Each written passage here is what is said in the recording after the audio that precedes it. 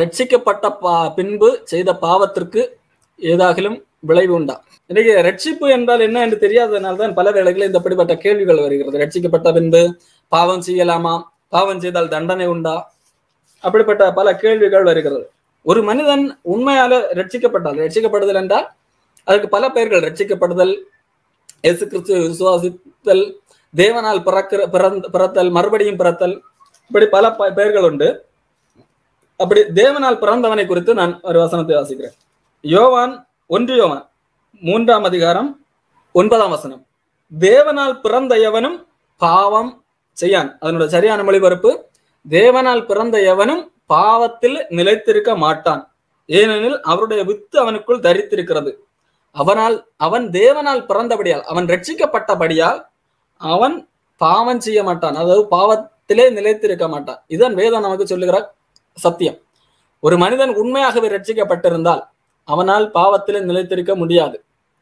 ஆகவே அவன் பாவத்திலே நிலைத்திருக்காத பட்சத்திலே அதனால் ஏதாவது விளைவு உண்டா என்று சொல்லி ஒரு கேள்வியை கேட்க வேண்டிய அவசியம் இல்லை அப்போ தவறு பிழை வருவதற்கு வாய்ப்பு உண்டு. ஒரு உண்மையிலே ரட்சிக்கப்பட்ட மனிதன் எ- எதற்கு எதன் மூலம் அவன் ரட்சிக்கப்படுகிறான்?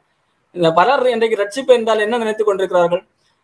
நான் ஒரு கடன் பிரச்சனையில இருந்தேன். அல்லது என் மிக சுகவீனத்தை கஷ்டப்பட்டு கொண்டிருந்தேன்.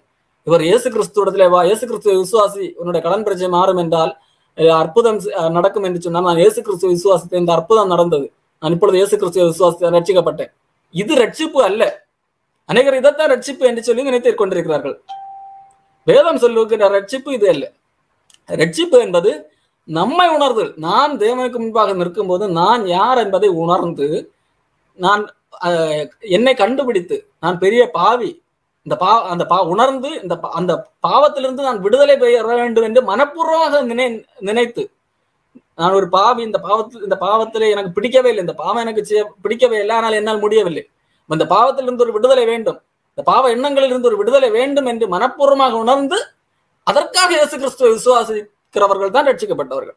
அப்ப அப்படிப்பட்டவர்கள் என்ன செய்ய மாட்டார்கள்? இயேசு கிறிஸ்துவை விசுவாசித்த பின்பும் பாவம் செய்ய மாட்டார்கள். அஹ் பவுல் எப்படி தான் ஒரு கேள்வி கேட்கிறார். அப்படியானால் கிருபைக்கு கீழ்ப்பட்டிருந்தால் பாவம் செய்யலாமா? இல்ல இல்ல இல்ல கூடாது. நாம் பாவத்திற்கு மறித்தவர்கள் ரட்சிக்கப்பட்டவர்கள் என்றால் பாவத்துக்கு மறித்தவர்கள். பாவத்துக்கு மறித்த பின்பு நாம் மறுபடியும் அதில் எப்படி நிலைத்திருக்க முடியும்? அதுதான் என்னது ஆஹ் பவுலுடைய கேள்வி. ரட்சிக்கப்பட்ட பின்பு என்னால் எப்படி பாவத்தில் நிலைத்திருக்க முடியும்? ஆகவே ரட்சிக்கப்பட்ட பின்பு நம்மால் பாவத்தில் நிலைத்திருக்க முடியாது. இல்லை என்றால் இல்லை மறுபடியும் அது பாவத்தில் நிலைத்திருக்கிறார் என்றால் அவர் ஒழுங்காக ரட்சிக்கப்படவில்லை என்ற அர்த்தம். தவறான அவர் தன்னை ரட்சிக்கப்பட்டவர் என்று எண்ணிக்கொண்டிருக்கிறார் என்று பொருள்.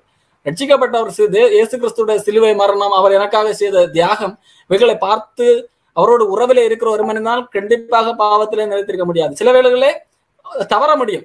அப்படி தவறும் போது அது உடனடியாக ஐயோ நான் தவறி விட்டு அதை ஒரு அருவருப்பாக நினைத்து டக்குன்று உள்ளே வந்து விடுவார்கள்.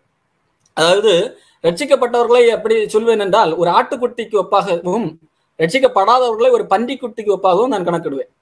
ஒரு சாக்கடை இருக்கிறது. சாக்கடை இந்த பன்றிக்கு மிகவும் பிடிக்கும்.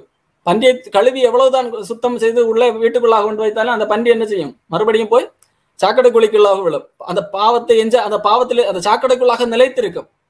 ஆனால் ஒரு ரட்சிக்கப்பட்டவன் எப்படி இருப்பான் சொன்னால் ஆட்டுக்குட்டி. ஆட்டுக்குட்டி அந்த சாக்கடை பக்கமே போக விரும்பாது. ஆனால் சில வேளைகளில் ஏதோ போகும்போது கால் தடிக்கு ஒருவேளை சாக்கடைக்குள்ளாக விழுந்தாலும் விழுந்த உடனடி ஐயோ நான் சாக்கடைக்குள்ள விழுந்து விட்டேனே என்று உடனடியாக டக்குன்னு கரைக்கு ஏறி அது எப்படியாவது தரையில எல்லாம் புரண்டு அந்த அதை தன்னை சுத்திகரித்துக் கொள்ளும் அப்போ ரட்சிக்கப்பட்டவன் இப்படிப்பட்ட மனநிலையில இருப்பான் ஆகவே அப்- அந்த அதனால் எந்த விளைவும் இல்லை